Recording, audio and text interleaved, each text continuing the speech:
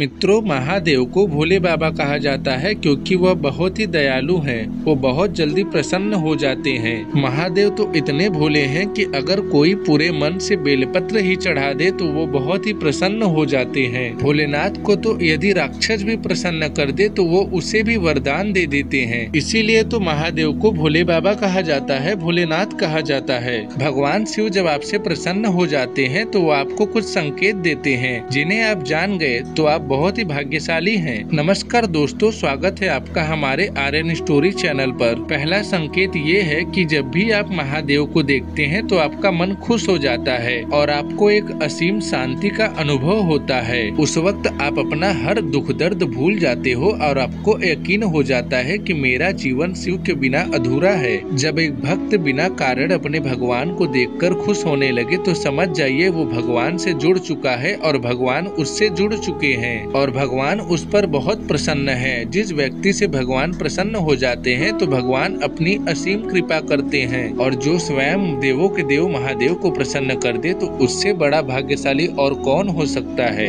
दूसरा संकेत ये है कि आपका समय बदल रहा है। यानी आपके जीवन में सुख, शांति, तरक्की, इन सब चीज़ों की वृद्धि हो रही है। और दुख, परेशानियाँ, बुरा समय, ये सब चीज़ें धीरे धीरे खत्म हो रही है। आप अपना जीवन खुल कर जी रहे हो। पहले से ज़्यादा खुश हो और आपका आत्मविश्वास पहले से बहुत ज़्यादा बढ़ गया है और आपको हर काम में सफलता हासिल हो रही है और लोगों के नज़र में आपका सम्मान बढ़ता जा रहा है। आपका जीवन दिन प्रतिदिन बेहतर होता जा रहा है, क्योंकि भगवान जब किसी से प्रसन्न होते हैं तो उसके हर दुख दर्द दूर कर देते हैं। उनका आशीर्वाद हमेशा आपके साथ होता है और आपका जीवन सुखों से भरने लगता है। ऐसा इसलिए होता है क्योंकि जिस भी इंसान पर महादेव का हाथ हो तो भला ऐसे इंसान का कोई क्या बिगाड़ सकता है? अगर कोई भगवान शिव को खुश कर देता है तो शिव उस इंसान को जीवन भर खुश रखते हैं और हमेशा उस पर अपनी कृपा बनाए रखते हैं। तो ऐसे हैं हमारे भोलेनाथ। तो मित्रों, कैसी लगी आपको यह हमारी वीडियो? हमें कमेंट करके ज़रूर बताएँ। यदि वीडियो अच्छी लगी तो हमारे चैनल को सब्सक्राइब करिए। हम आपके लिए ऐसे सनातन धर्म से जुड़ी वीडियोस लाते रहेंगे। वीडियो को पूरा देखने के लिए आपका धन्यवाद।